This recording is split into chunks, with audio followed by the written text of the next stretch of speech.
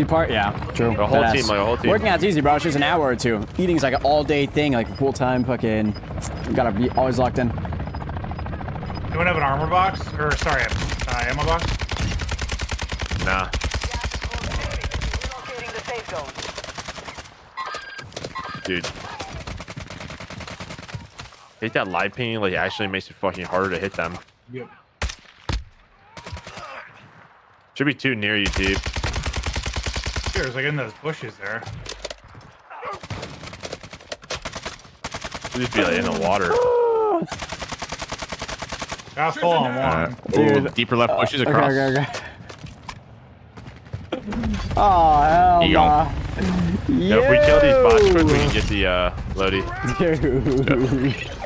Alright, it's done. Cool. Collect your reward. It's my penis. Oh! Inbound. Wow. That's the best reward I've Oh ever my god. That, re- that really is a stronghold. Some good shit right there. Nice.